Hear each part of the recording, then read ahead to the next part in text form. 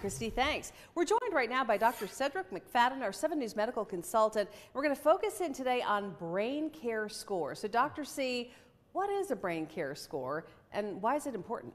All right, so the brain care score, this is a term we're likely going to start hearing a lot about. This is a new 21 point scoring system that gives you your risk of developing dementia or having a stroke in your lifetime. Now, this is a product of Mass General in Boston that gives you an uh, understanding of how you might fare in life. Now, what they found is that the higher your brain, scare, brain care score is, the lower your risk of developing dementia or having a stroke throughout your life. So this is a tool that you'll share with your doctor that can help you make some changes that can hopefully improve your health and certainly your brain health. All right, so what are the components of the score? How do they make it up? Well, there's several different components of it, and it takes into account your lifestyle, your physical, your social, or your uh, emotional components of your health.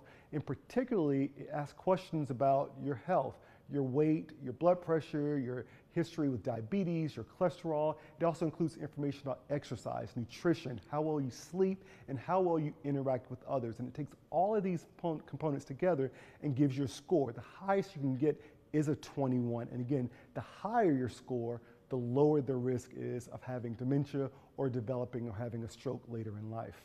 And, and, just to reassure you, if you do go online and take the test, and the link is on WSPA.com, so you can do that in links we mentioned, it doesn't take that long, right? I mean, we did it in in a short amount of time, even minutes, though it's getting all that minutes. info. Yeah, a few minutes. Doesn't take long at all, and it's readily available. And you know, I think we'll start seeing this conversation certainly with ourselves, with our doctors, and really becoming a number that we'll talk about, like we would our cholesterol or our blood pressure, and how we can have better health and move forward in hopefully decreasing our risk of dementia and things like strokes.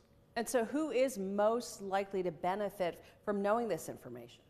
Well, according to the authors from the study, in the US, one in seven people will have dementia, all right? And every four minutes, someone will die from a stroke. Particularly if you're over 40 and you have a family history of dementia, this is a conversation you need to have with your doctor. Your doctor may not even know about the score actually because the study just came out last week. But this is information that you can bring to your doctor that you can have conversations about where there are areas that I can modify to improve and to decrease the risk that I'm going to have these problems later in life. All right, well, you're an 18, I'm a 14. I have some work to do. You're well, doing pretty good. Yeah, but you can modify that, right? Yeah. So take it again in six months, make some changes and see what happens. All right, we will. Dr. Yeah. C, thank you. Thank you.